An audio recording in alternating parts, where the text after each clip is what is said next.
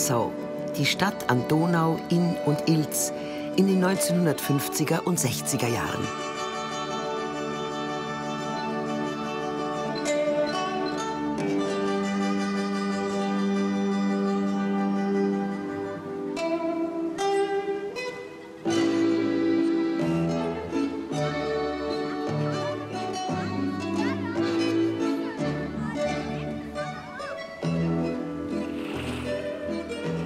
Das Wasser prägt seit jeher die Stadt, ob bei der Arbeit oder beim Vergnügen. Früher fuhren hier viele Lastkähne und die Flotte der Donaudampfschifffahrtsgesellschaft.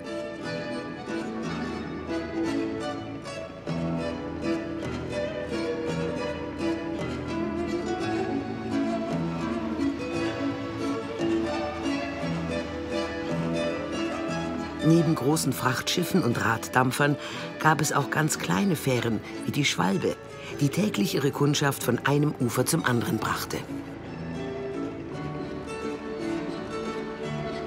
Heute ist die Sissi eines der Passagierschiffe bei der Passauer Dreiflüsse-Rundfahrt. Gesteuert wird sie von Tamara und Heinz Klinger, Kapitäne in der zweiten und dritten Generation. Können Sie sich noch an die Donaudampfschifffahrtsgesellschaft erinnern? Freilich kann ich mich da noch erinnern daran. Und das ist eine, eine schöne Zeit gewesen. Nicht? Also, also ein Dampfschiff, wenn man gesehen hat früher, nicht? das war natürlich das Sechste. Da ist man mit der Zollen gefahren und dann in den Weinen drin. Da ist man so richtig Wellenreiten, hat man nicht aufs Meer müssen, sondern bloß auf der Donau auf ein Dampfschiff warten. Nicht? Das ist ein Radschiff. Die haben die richtigen Weine gemacht.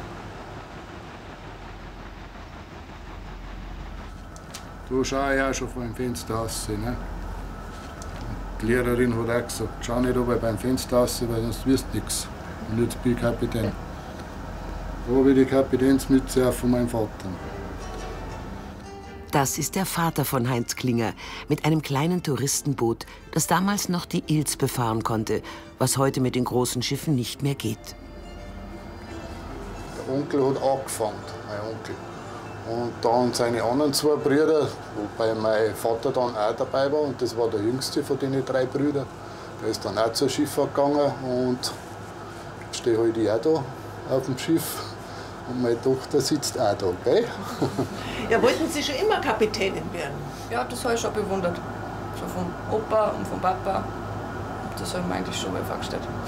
Und was gefällt Ihnen an dem Beruf so? Ja, das am Wasser zum Sein und ja, weil der Beruf ist also vielfältig und ist halt überall zuständig. So. Das ist echt schön. Und das Fahren?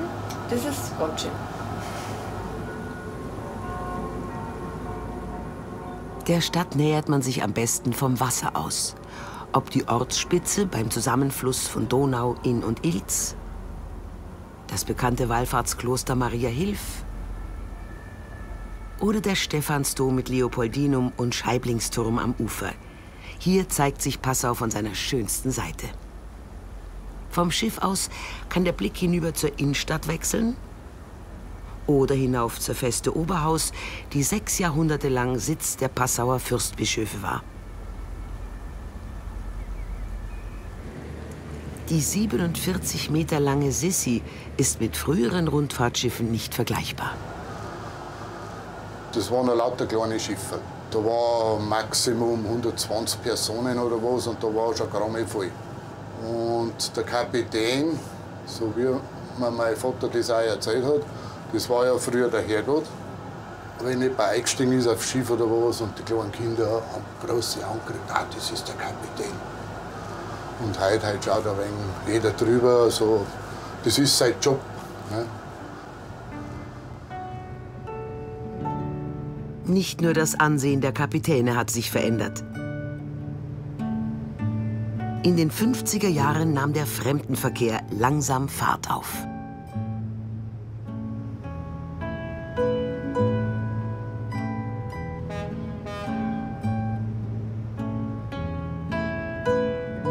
Passau, das einst vom Handel mit Salz, Wein und Getreide sehr wohlhabend war, musste nach dem Zweiten Weltkrieg durch seine schwierige Grenzlage nach neuen Einnahmequellen Ausschau halten und entdeckte sein einzigartiges Stadtbild als Wirtschaftsfaktor.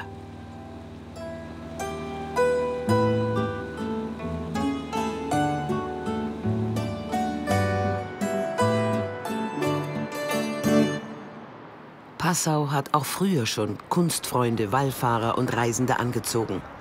Heute wird die Stadt aber an manchen Tagen von Touristenströmen geradezu überschwemmt. Auf dem Pflichtprogramm eines jeden Rundgangs steht das alte Rathaus mit seinen Hochwassermarken, dem Höchststand von 1501 und der zweitschlimmsten Katastrophe von 2013. In der Hochsaison ziehen tausende Touristen täglich durch die Altstadt. Doch nur ein Bruchteil bleibt über Nacht. Wenn Busse und Kreuzfahrtschiffe wieder weg sind, gehört die Stadt mit ihren engen, verwinkelten Gassen den Passauern.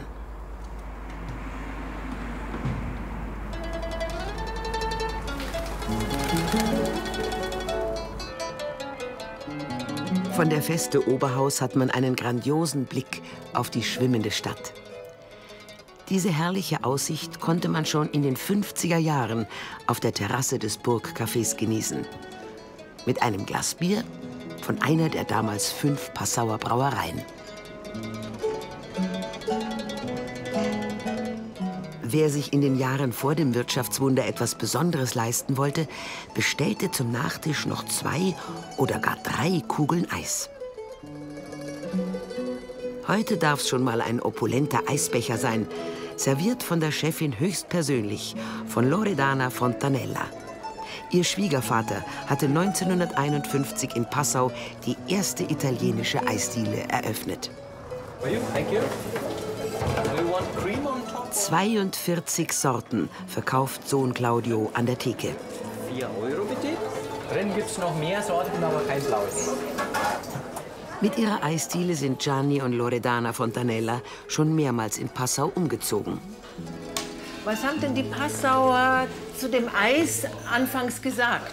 Äh, geschmeckt hat äh, schon, aber das war eine Neuigkeit.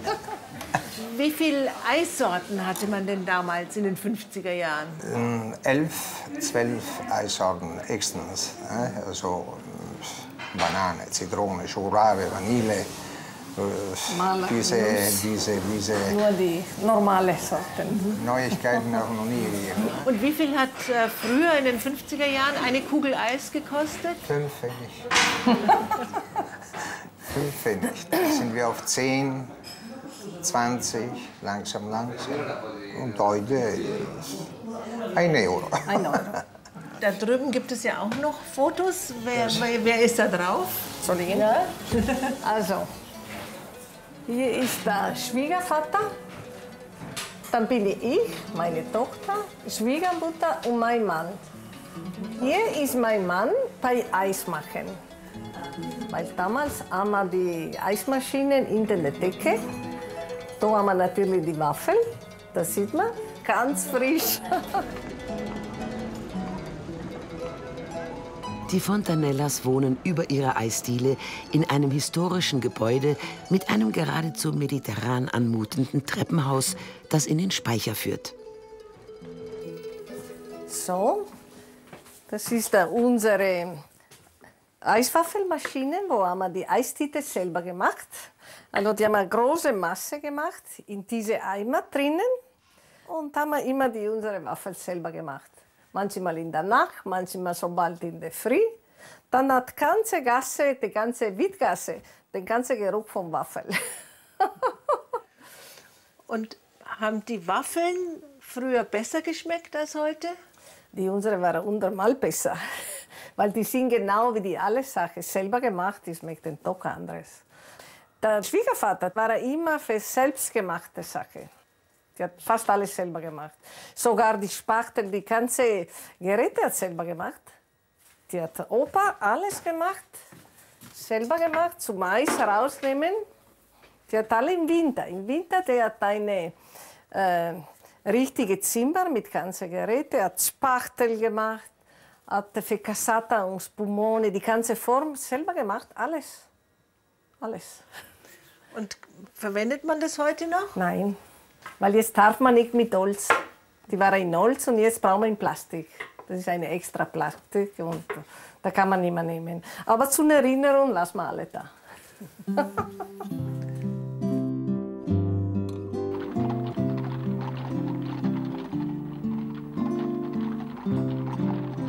In der Zeit, als Großvater Fontanella seine Eiswaffeln selbst gebacken und seine Werkzeuge eigenhändig geschnitzt hat, gab es in Passau noch viele Handwerker. Oft haben sie ihre Arbeit auf den Gassen verrichtet, weil ihre Werkstätten zu klein und zu dunkel waren.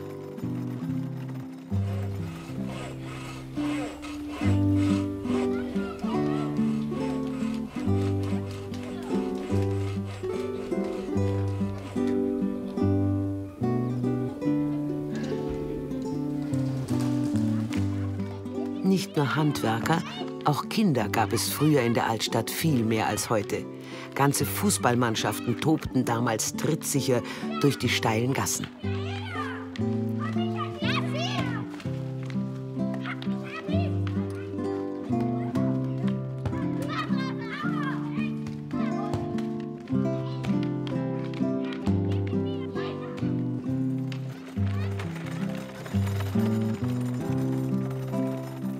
Passau hatten Metallhandwerker wie die Nagel- und Klingenschmiede eine lange Tradition. In der großen Messergasse wohnt heute in einem alten Handelshaus der Fotograf, Filmautor und Kabarettist Rudolf Klaffenböck.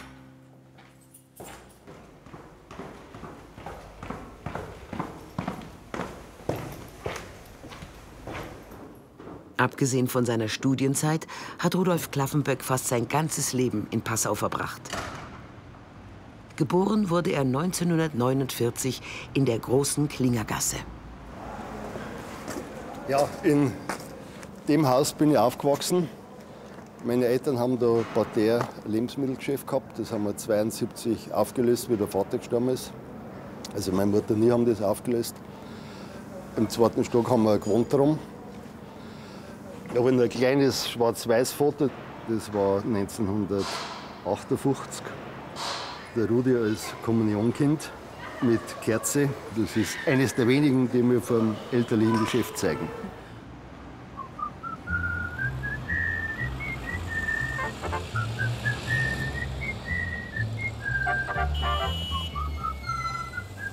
Ende der 50er Jahre nahm der Verkehr in Passau ständig zu. Die fortschreitende Motorisierung führte in den beengten Altstadtgassen zu einem Chaos. Forderungen nach einer autogerechten Stadt wurden immer lauter. Erst durch den Bau von Umgehungsstraßen, Brücken und einer Fußgängerzone entspannte sich die Lage etwas.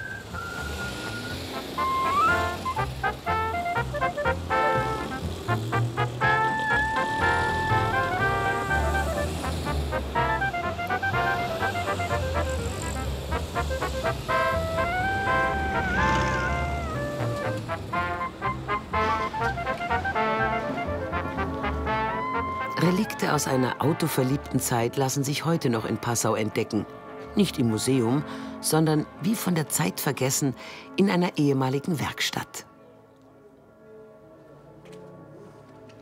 Rudolf Klaffenböck hat einen Blick für solche Schätze des Alltags auf seiner ständigen Suche nach Räumen der Erinnerung. Das ist das ehemalige Kassenhäuschen vom Fünferlsteg. Der ist 1916 gebaut worden. Das war eine Aktiengesellschaft. Darum haben sie auch damals nur 5 verlangt. Das ist dann erhöht worden auf 10 Pfennig. Da sehen wir eine alte Aufnahme. Das waren die letzten Wochen äh, im Jahr 45. Hinten die zerstörte Eisenbahnbrücke. Das ist noch so ein altes Billettel. Und bis zum Jahre 77 hat man Brückenzoll zahlen müssen. Bis dahin hat man zahlen müssen, ja. Aber immer 10 Aber bei uns war es immer noch 5 Stück. Wieder Fünferlsteg, so sind auch die europäischen Wochen eine Passauer Besonderheit. Seit 1952 gibt es hier alljährlich ein hochkarätiges internationales Kulturangebot.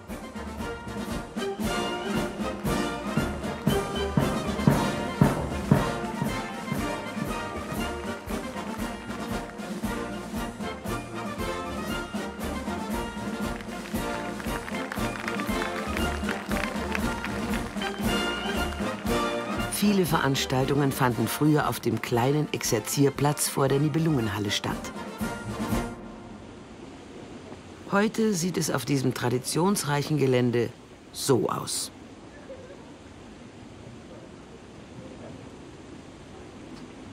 Wo einst der kulturelle Puls von Passau schlug, liegt heute die sogenannte Neue Mitte.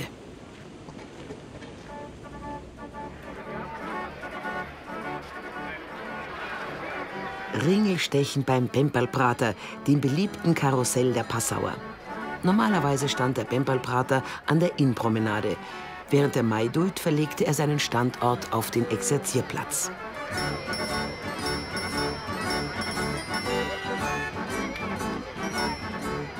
Die Passauer Maidult ist das älteste Volksfest in Niederbayern. Seine Geschichte reicht bis 1666 zurück. Neben Bierzelten und Jahrmarktsbuden gab es dort auch einen Markt für Haushaltswaren.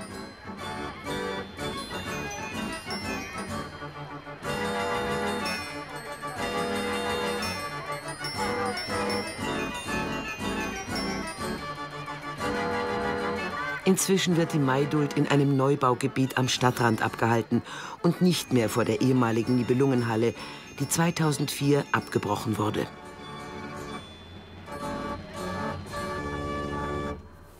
Naja, 2002 bis zum Abriss habe ich die ganze Halle durchfotografiert, vom Keller bis zum Dachboden, weil mich immer diese, ja, diese Aura in den Räumen die so mit Geschichte aufgeladen sind, interessiert haben.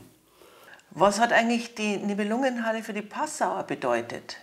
Es war auf alle Fälle ein Ort des Treffens. Heraus war ja auch der Exerzierplatz, wo Tulpen und Messen stattgefunden haben. Dann war das der zentrale Punkt für den öffentlichen Nahverkehr. Da hat es die sogenannte Persiluhr gegeben, wo man sich immer getroffen hat mit der Freundin am Samstag um 8 Uhr. Das war das große Umsteigen da auf dem Platz. Da war der Christkindlmarkt und naja, das war halt so ein, ein Treffpunkt einfach, den ich habe. Und es waren ja wahnsinnig viele Veranstaltungen drin. Ja, unter anderem, da sieht man es, der berühmte politische Aschermittwoch. Ja, der ist seit 75 war der in der Halle. Nachdem das in Vilshofen zu klein wurde, ist dann der Strauß mit der CSU nach Passau gegangen. Ja, überhaupt so. Also Passau, CSU, Kirche, Passau, Neue Presse, eine besondere Dreieinigkeit in der Ja, das war natürlich immer so unser Reiz, wenn man so in der Stadt aufwächst, wo so eine Dunstglocke drüber ist, wo man nicht, wo man nicht raus kann. Äh, diese Trinität aufzubrechen, war natürlich schon unser Ansinnen, wie wir damals auf die Bühne gegangen sind, dass wir da ein bisschen was zerreißen. Ja, das waren wir drei am Tag der Veranstaltung. Das war im März 2002. Der Sigi Zimmerschied, der damals als Blinder aufgetreten ist. Rechts der Bruno Jonas als Confrancier des Abends und ich da in der Mitte als Führer, der ja nie in der Halle aufgetreten ist. 1977 wurde das Scharfrichterhaus als provokante Kabarett- und Musikbühne eröffnet. Der einstige Hort der Rebellen hat sich inzwischen zu einem anerkannten Kulturort entwickelt, in dem der irdische Widerspruchsgeist nach wie vor lebendig ist.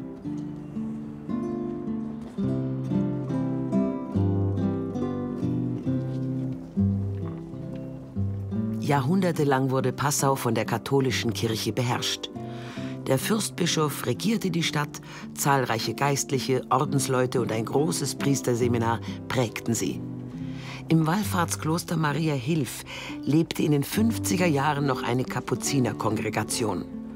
Heute beten hier nur ein paar Patres aus Polen und das Priesterseminar ist inzwischen aufgelöst worden.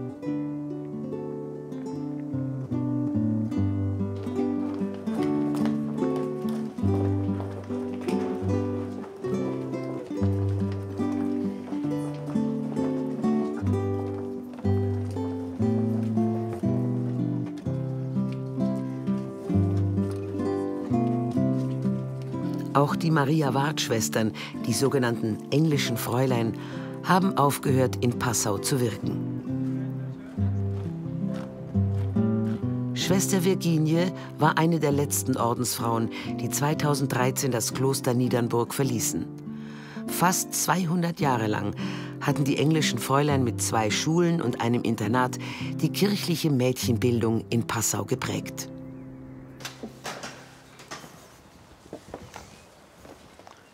So, wir stehen jetzt da auf dem Dach der Niedernburger Schule auf dem Schutzengelbau, einem der ältesten Teile. Da sehen wir die Kirchentürme und dann fällt natürlich sofort Oberhaus in den Blick. Das ist die Ewigkeit, dieser Teil des Hauses, der da rauszieht. Da war die Klosterbibliothek. Wie heißt dieser Teil? Die Ewigkeit, weil man so lang braucht, bis man da rauskommt. Sie haben ja jetzt Generationen von Passauerinnen unterrichtet und begleitet. Was sind denn die Passauerinnen? Für welche? Selbstbewusst sind sie schon. Aber das wollten wir ihnen ja beibringen. Dass sie was können, wissen sie. Sie lassen sich jedenfalls nicht mehr auf die Seite drängen. Auch nicht von den Männern. Und das freut uns. Das ist schon ein schöner Erfolg. Und das hat auch unsere Stifterin gewusst, die Maria Ward, dass mit der Mädchenbildung gar nicht viel los war. Bis zum Weggang der englischen Fräulein hat Schwester Virginie die heutigen Gisela-Schulen geleitet.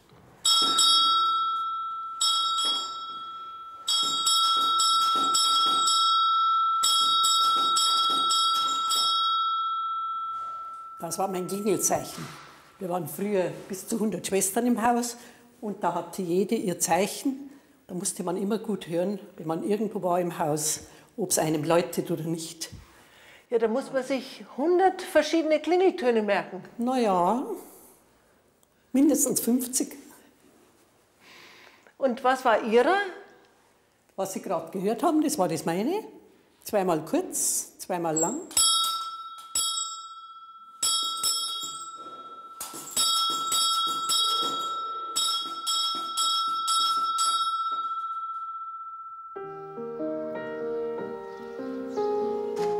Nicht nur die Erziehung der Mädchen lag früher oft in der Hand der Kirche. Auch bei den Buben war es so. In Passau zum Beispiel in den beiden katholischen Knabenseminaren St. Max und St. Valentin. Aus dem Kreis der Klosterschüler gingen dann wiederum viele Priester und Ordensleute hervor.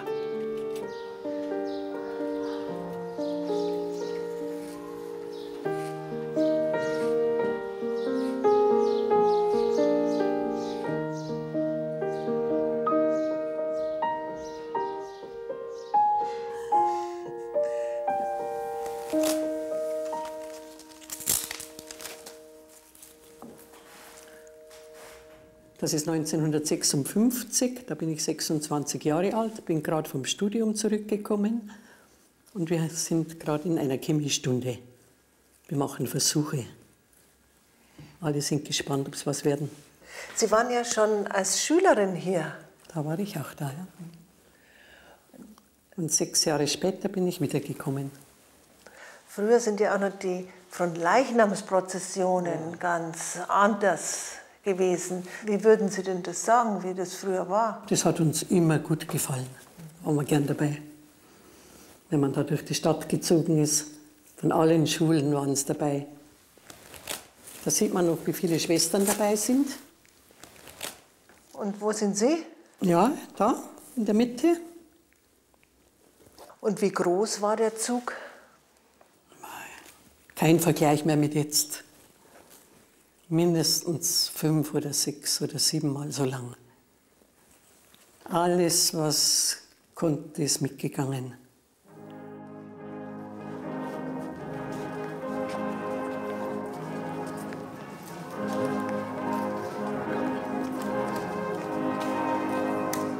Prozessionen in Passau waren nicht nur an Fronleichnam sehr lang. Auch 1961, beim 25-jährigen Amtsjubiläum von Bischof Simon Konrad Landersdorfer, säumten tausende Gläubige die Straßen, als er in Begleitung von Julius Kardinal Döpfner feierlich in den Dom einzog.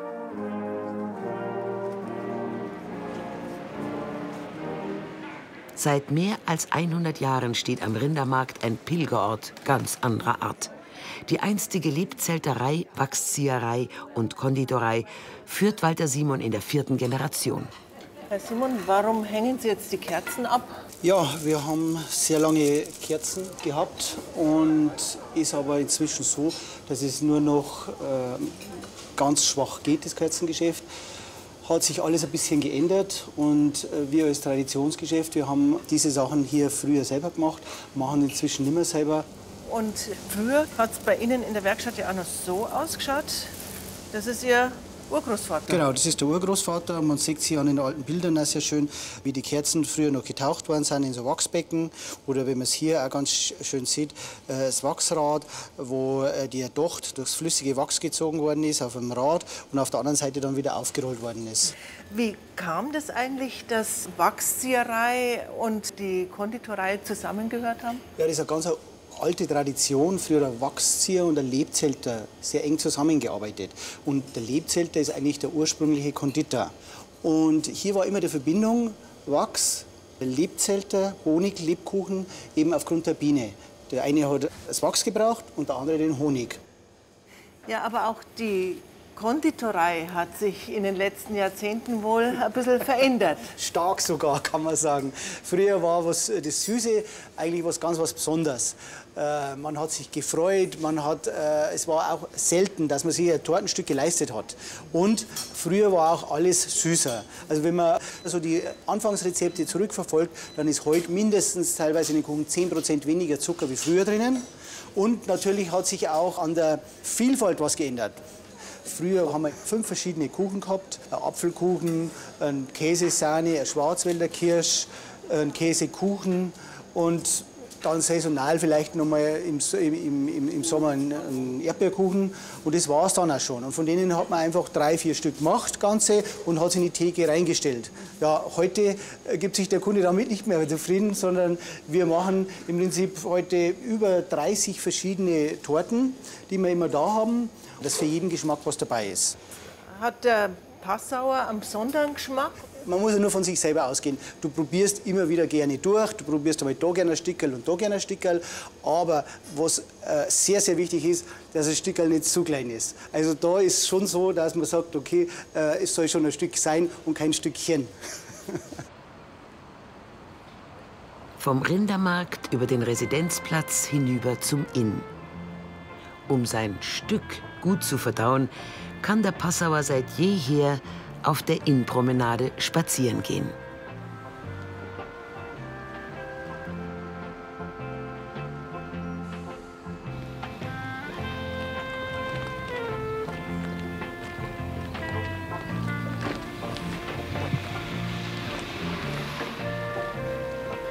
Sehen und gesehen werden heißt hier die Devise. Früher vor allem beim obligatorischen Sonntagsspaziergang heute auch an ganz normalen Wochentagen.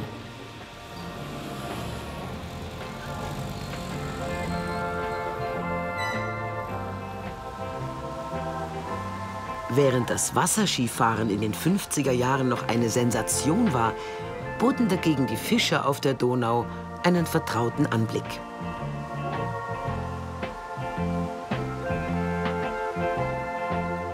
Krawatte und Jackett zog man allerdings nur an Festtagen an.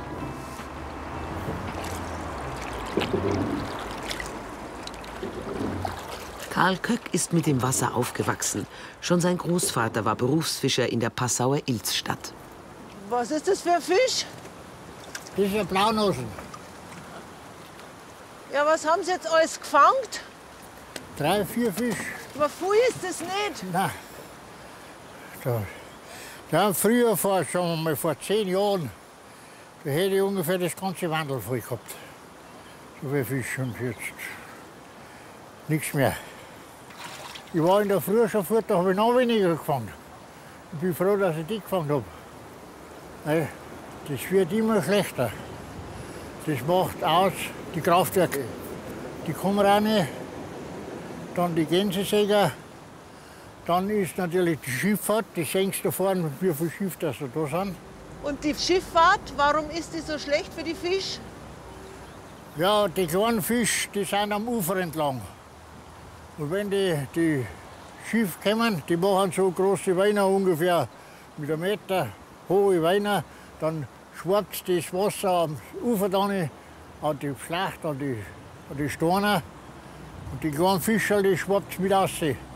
Dann wieder rein. Da werden sie verletzt und zum Teil kommen sie nicht mehr rein. Das ist ein ganz großer äh, Schaden. Und warum fischen Sie überhaupt noch? Ja, mein, erstens brauche ich ein paar, weil ich, wir tun alle Freitag Fisch braten. Ja, brauche ich ein paar. Und dann ist natürlich, äh, ich, tue ich halt gern. Oder? Hey, das ist eh, weil sonst äh, andere Daten da mit den Alten sagen, ich mag meine Ruhe haben. Aber ich, ich, tue es gerne. Hey.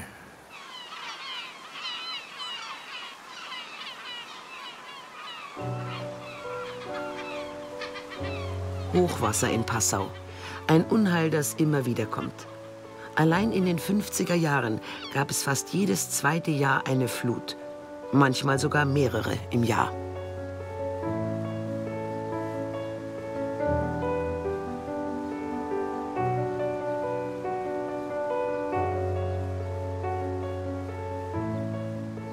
Die Einwohner haben gelernt, mit Überschwemmungen zu leben. Doch das Hochwasser ist kein Kinderspiel, sondern jedes Mal eine Katastrophe.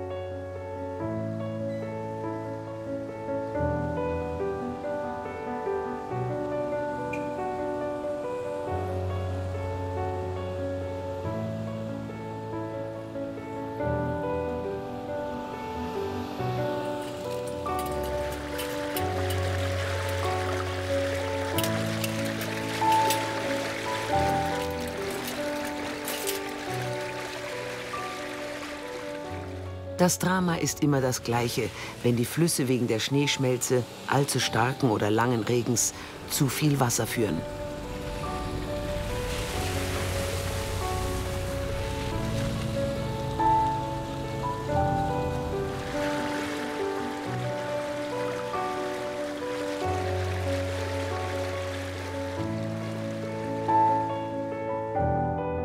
Pegelstände werden zum zentralen Thema.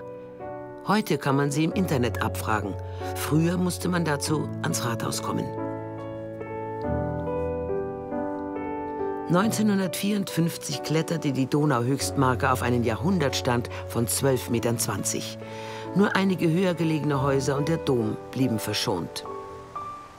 Wie, wie war das 1954 mit dem Hochwasser? Ah, das war eine richtige Katastrophe.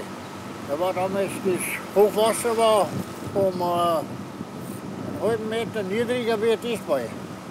Aber die Ilkstadt, die war ja viel niedriger, die war nicht so hoch gebaut wie, wie die jetzt. Und da ist Wasser, äh, über den ersten Stock drüber ist Wasser bei den Häusern drüber gegangen.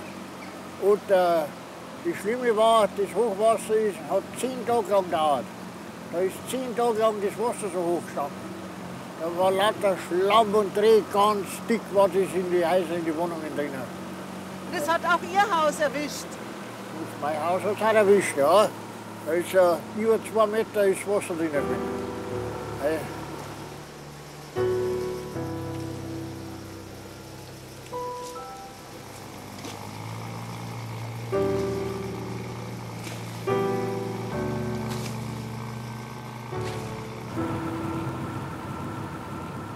Und das ist alles neu aufgebaut? Alles neu. Alles neu.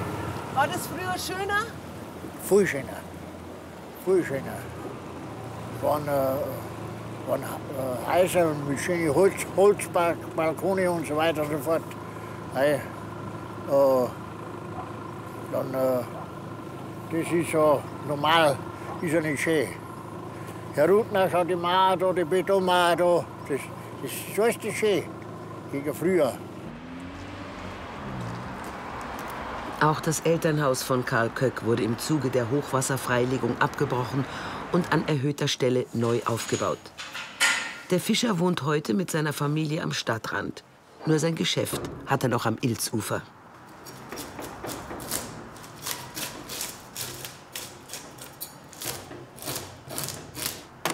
Da ist mein Vater auch vorgegangen. Das sind die, wie jetzt gerade geputzt habe. So, in solchen Massen, in solchen Massen hat es gegeben.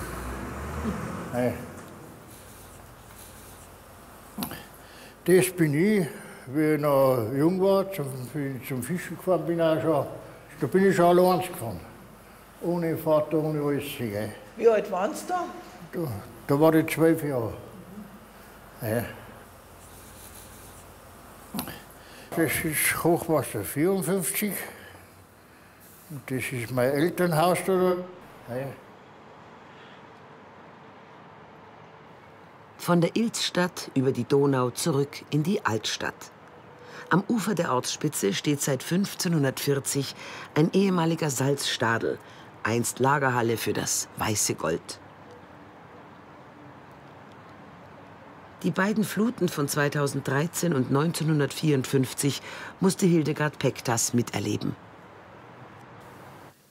Und hier habe ich eine Aufnahme vom Hochwasser 1954.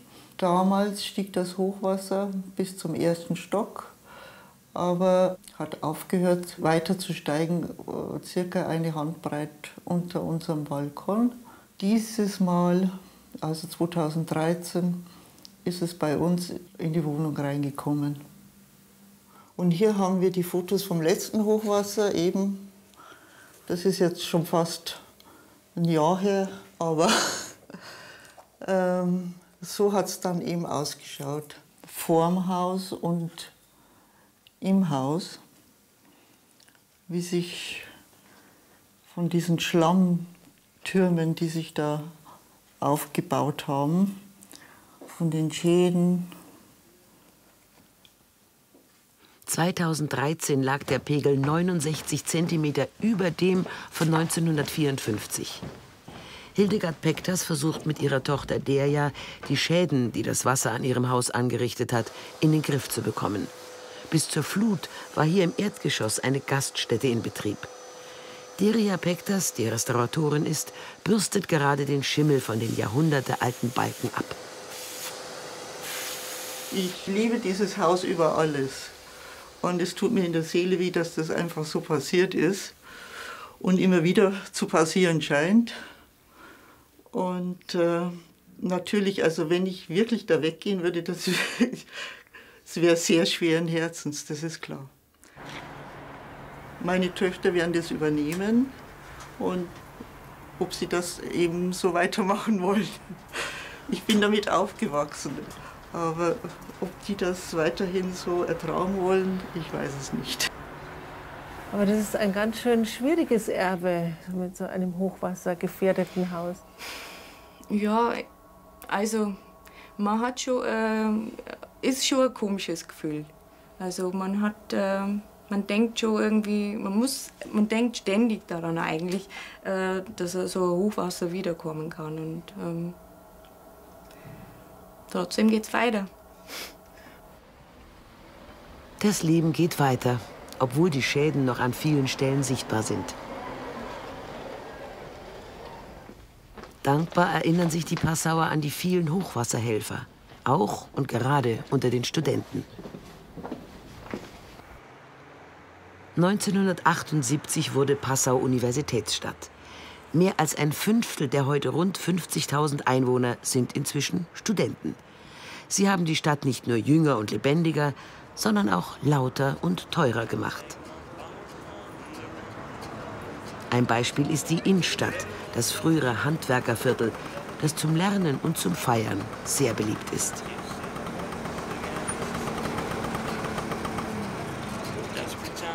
Im Kaffeewerk am Kirchenplatz trifft sich eine unkonventionelle Mischung aus Einheimischen, Touristen und Studenten.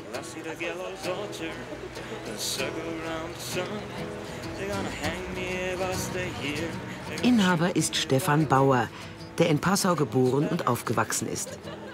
Während des Hochwassers hat er in seinem Geschäft mit einer Studentengruppe die freiwilligen Hilfsmaßnahmen in der Innenstadt koordiniert. Dafür sind die Studenten inzwischen mehrfach ausgezeichnet worden.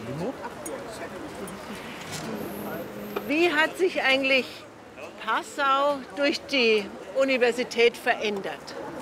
Sehr positiv. Also ohne die Uni wären wir, glaube ich, ein Kurort, wäre gar nichts mehr los. Und also wir sind heilfroh, dass wir mittlerweile so viele Studenten und Studentinnen und Studenten da haben, die einfach das Passau weltoffener, bunter und einfach viel noch, noch liebenswerter machen.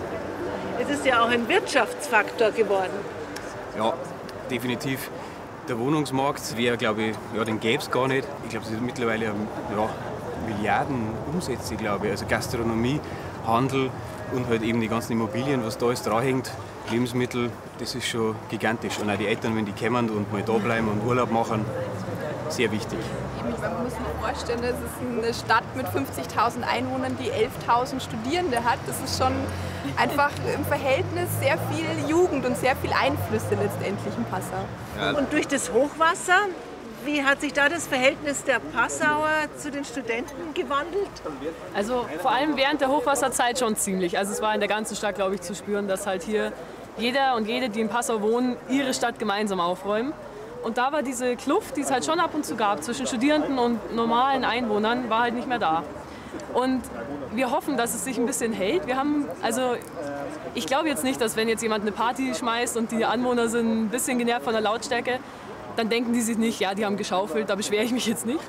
Aber ich glaube, es ist trotzdem noch so in den Erinnerungen drin, dass wir halt alle zusammen geholfen haben und dass wir keinen Unterschied machen, was unsere Stadt angeht.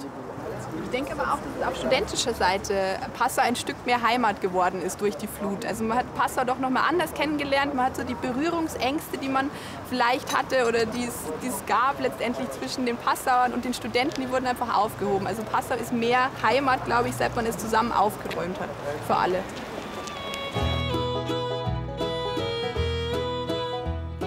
Das Zusammenwachsen von Studenten und Einheimischen ist wohl das einzig Positive, das man dem Hochwasser von 2013 abgewinnen kann.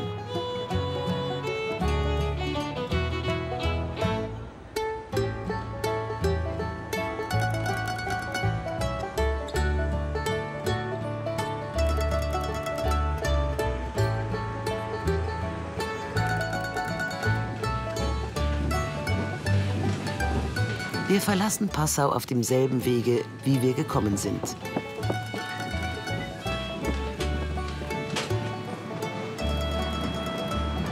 Viel hat sich in den vergangenen Jahrzehnten hier verändert, sei es in der Schifffahrt, in Handel und Handwerk, sowie im kulturellen und im religiösen Leben.